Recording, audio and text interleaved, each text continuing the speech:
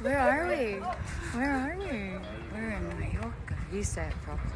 Mallorca. Mallorca. Ooh. I still didn't say it. You two did. What are you talking about? You said it's sexy, actually.